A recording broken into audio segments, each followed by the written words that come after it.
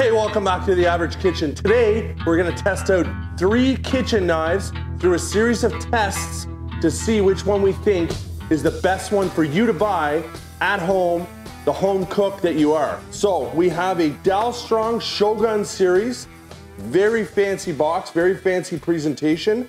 We have my old trusty Hinkle. Now, I've had this for probably five years. And then uh, this one that Jamie picked out, made by Mercer, we believe is how you uh, pronounce that company name. That is this one right here, which is, I believe, a seven inch, Jamie, or nine inch? Jamie doesn't know, but we can have a look at, it came in beautiful packaging. Eight inch, so they're all roughly the same size. Uh, so we'll have a look here at this uh, Dalstrong. I must say, I, I've seen them on Instagram. I follow them. They make some really cool stuff, but I've never bought one of their products. So when we bought that, we're not, I should say, we're not sponsored by any of these companies. We're just doing these independent uh, reviews on knives that we bought ourselves.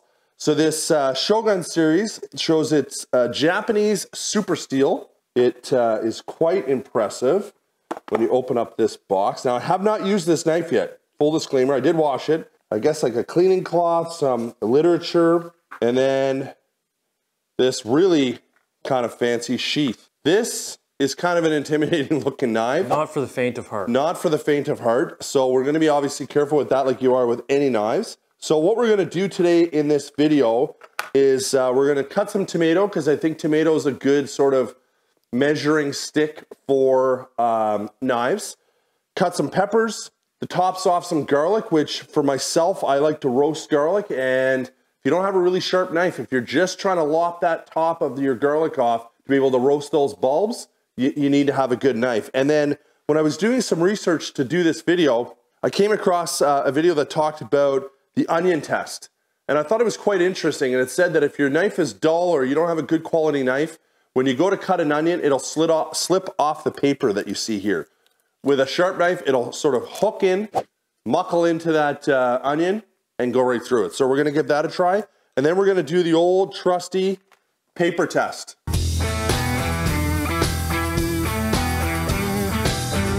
So because this Henkel I've had for roughly uh, five years, uh, it is the German-made Henkel. I am gonna give it a quick sharpen. And the things that we're gonna talk about is the weight and the balance of the knife in your hand, the level of comfort, how does it feel, how does it perform? They all clean pretty much the same. Big point, a uh, little pro tip for you, do not put your expensive knives in the dishwasher. The handles, uh, if they're not one piece, sometimes the handles can uh, retain water and sometimes they can get little rust spots on them because of the temperature of the uh, dishwasher. So you definitely don't want to do that. So let's give the Henkel a try first. I've never done this paper test, so bear with me. So a little bit of a cut, but not really impressive.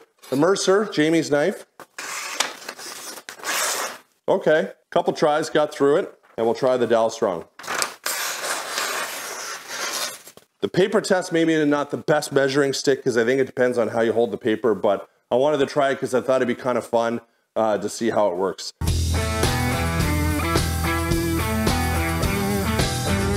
Let's try a tomato. So as mo most of you know that cutting a tomato sometimes, especially if it's really ripe, can be challenging. So I'm gonna do my best and I don't proclaim, proclaim to have amazing knife skills, but I'm gonna try to slice this pretty thin. So that actually pretty good. All right, we'll try the Mercer. So thin, but not paper thin, but again, that could just be my skill set. How easy is it going through? Fairly easy with very little push and met with very little resistance. We'll try the Dalstrong now. So the Dalstrong certainly seems to be pretty consistently pretty thin. Now, in fairness to that everybody knows this, I don't know why or when you would ever cut a paper thin slice of tomato, but if you're slicing tomato it certainly goes through it quite easily. So let's do a couple of those with uh, one of the other knives here. So again, seems to cut them relatively easily, all of them. Can you rank the knives in the tomato test? I would say, and I'm not biased because I was I had chosen this Dalstrong, but maybe it's the weight of it, the size of it. It just seemed to feel the best that just slid through the tomato. There's no doubt that all of these cut the tomato quite well. The next day. Jamie had suggested, hey, do you want me to bring back to your place this kind of older knife that he's had for quite a long time? Value on this, Jamie, roughly, price? Well, it came in a set. I'm gonna say the set certainly under $100. Okay. So this was Jamie's go-to knife, kind of cool looking. So we have another tomato here, and I just wanted to see if how this sort of budget knife works uh, slicing a tomato. So as, as you remember yesterday, we tried to go super thin. Okay, so that took a little bit of effort, but definitely getting there, but requires a lot more pressure than I was using before. So as far as just ease, it certainly cuts the tomato. Would this work? Yes, 100%. Uh, it's functional. It's pretty well balanced. Um, maybe not as comfortable as my, in my hand as the other knives that we, tr we tried. Budget knife works pretty good. Yesterday. So just just look them up real quick because I had forgot uh, what we paid. So this one, the Dalstrong, they call this a Chef Cleaver Hybrid, which is kind of interesting. And you could see, based on the look of it, it would definitely meet that description.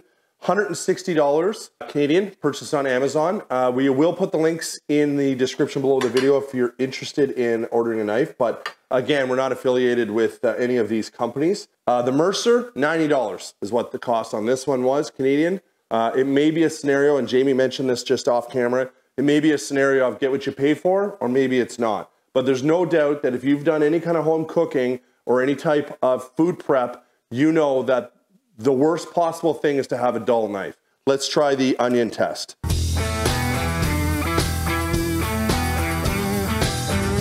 So let's start it with the, uh, we'll start it with the Mercer. So it should, in theory, okay, so you could, I don't know if you can see there, Jamie, it didn't really grab, but it's not slipping off either. So that was pretty good. The Hinkle sort of grabbed. And let's try this one here. Okay, right away, I don't know if you could see that, Jamie. It, it really grabbed a hold of that really quick. And there's no slipping. And again, you could, now I didn't try that, uh, cutting those onions really thin with the other knives. I could do that, but. So I grabbed another, um, another onion here. We're just gonna try a different angle. So instead of giving it that ability to grab on, just coming straight down it. So this is the Hinkle. So you can see, I'm not pushing hard, but it's certainly not jumping into it. So this one, much better than the Hinkle, but nowhere near as good as the Dalstrong. The Dalstrong with virtually no pressure whatsoever slides right through um, that onion with, with no pressure. So on this test, I would rate Dalstrong number one, Mercer number two, Hinkle number three. I think a good point is if you've never had a really good quality or high-end knife, you may not know what you're missing or what how easy it could be to cut things until you try one of these.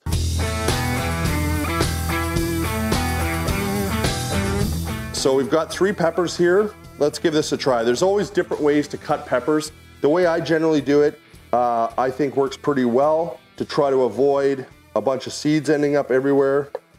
Basically no waste, a little bit, not much. So what I would normally do here is just cut those into strips. So skin side up, which I normally wouldn't do because then you can't see if there's that um, sort of bitter membrane there, but it certainly hooks on to the um, pepper very, very easily. That was the Dalstrong. So let's try the uh, Mercer, same sort of technique. You start at the top and just sort of run your knife along that edge. So really with minimal effort, and I mean, I'm not doing, not that I have, uh, like I said, fast knife skills, but not trying to do anything fast here or fancy, just trying to let the knife do the work and not fight against it. But realistically, really, really cuts very nice. We'll try the skin side up, which again, I wouldn't normally do, but can be a little bit more challenging for the knife. Like, pretty impressed. cuts really, really well. I am always impressed with when you watch uh, these professional chefs and their their their skill set with uh, with a knife um, is uh, pretty impressive. And let's try the old trusty Henkel with this orange pepper. So I can already tell that it's certainly not cutting, it's cutting fine, but it's not cutting as smooth as the other two knives. So again, cuts really well. Try it skin side up. So a little bit more effort to try to get it to bite into that skin, but still overall really good. I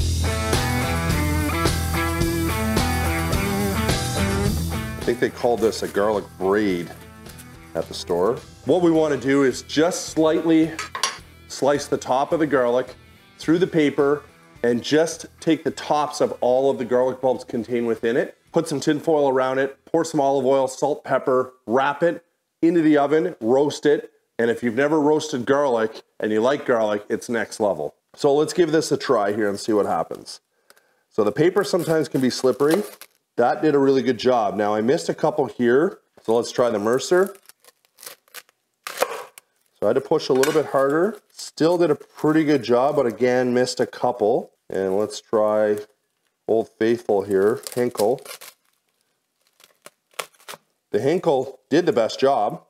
I may have added a push a little harder. Overall, I would say all three of those knives performed well in that test. Had ne having never used this one before, the Dalstrong or Jamie's Mercer, I could tell you that because they're all high-end knives, they all feel really good in your hand. This one feels really balanced, feels really, really good. I think that, um, and I know there's a fancy name for these. Do you know what these are called, Jamie? Um, I think these will help sometimes things not stick to your knife, so that's a good feature, but I don't remember what those are called. The Henkel has a bit of a longer handle, which I like, as opposed to this one doesn't sit quite uh, all the way past my hand, and I do have kind of bigger hands, but um, that one has a bit of a longer handle, which I like. This one, again, has the same sort of length handle as that. Again, really, really well balanced, looks badass, uh, super intimidating looking knife, actually. This, this knife here is almost twice the price as the other knives. So in theory, it should be twice as good. I don't know. Is it twice as good? No, it's not twice as good. Is it really good? Absolutely. But as far as a budget, like a higher end budget knife, this for $90 will do everything that you would ever need. As far as, um, you know, a decent price knife for the quality and for the um, performance of it, pretty impressed. Now I could already see, and this could be because Jamie did put it in the dishwasher. I could already see some discoloration on the, um, I don't know what they're like rivets almost that they used to put the handle together.